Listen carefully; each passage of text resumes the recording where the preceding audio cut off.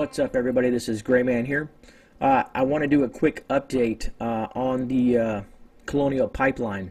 Uh, I just got a kind of notification on uh, my phone, and I wanted to share this with you guys because I know a lot of you folks do not uh, watch mainstream media, and you come to YouTube to us content creators for information and updates on certain issues around the world and here locally in the U.S. Um, so wanted to share this because I find it really important. Now, hopefully, uh, if you watch the videos uh, that, that I discussed, I discussed it yesterday, and I think Jason and several other channels discussed it yesterday as well. Um, but this has just popped up, and I wanted to share it with you folks. It says the U.S. declares regional state of emergency after Colonial fails to restart the hacked pipelines. Uh, most of you, most of you folks are probably aware about the uh, the cyber attack that happened on the on the uh, Colonial pipeline over the weekend. The, the attack on the Colonial Pipeline, considered one of the most disruptive ransomware schemes ever, has already disrupted fuel supplies across the East Coast and triggered sales restrictions at gas stations. Uh, so, that being said, currently they have sales restrictions in some of these states, and I'm going to go over some of these states in here in just one second.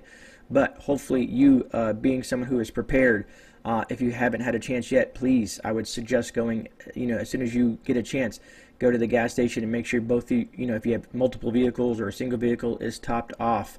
Also, if you have any gas cans or anything like that, fill them up. Uh, just in case this thing progresses or, or th this issue progresses, which it may. I'm not trying to freak anybody out or scare anyone, one, but I just want you to be prepared and I want you to be aware.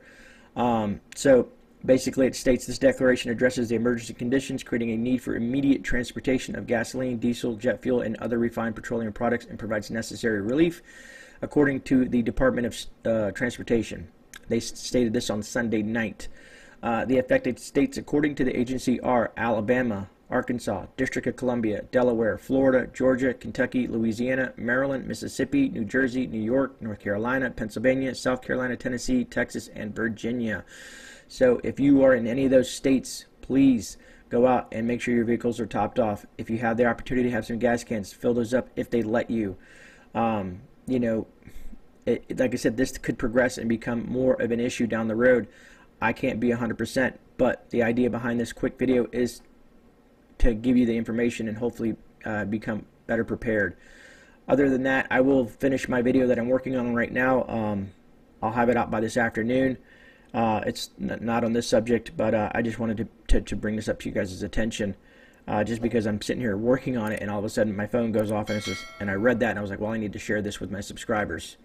So that being said, folks, um, I think that about wraps it up. Like I said, just a quick video to kind of give you up update on what is going on with the Colonial Pipeline.